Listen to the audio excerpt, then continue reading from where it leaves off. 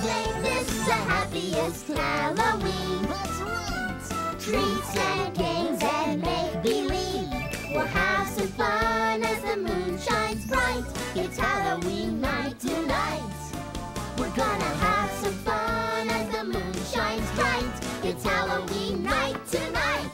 Oh, oh boy, oh This is gonna be great. It sure is. There's even going to be a big Halloween party in the school gym tonight. Oh. Some kids are going to the party, and others are going out trick or treating instead. That's when you go to homes in your neighborhood to get treats. Oh, I know. And have you chosen what you're going to do yet? We're all going to the party, and we'll be wearing our real Halloween costumes then. Oh, I can hardly wait to see them. Speaking of costumes, look.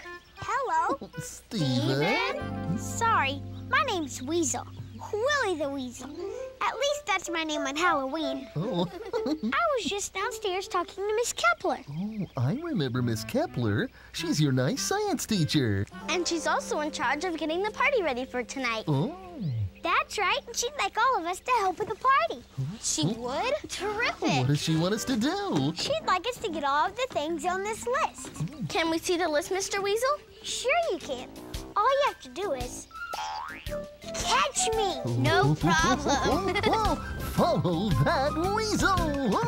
All around the cobbler's bench, the monkeys chased the weasel. The monkey thought was all in fun. Pop goes the weasel. A penny for a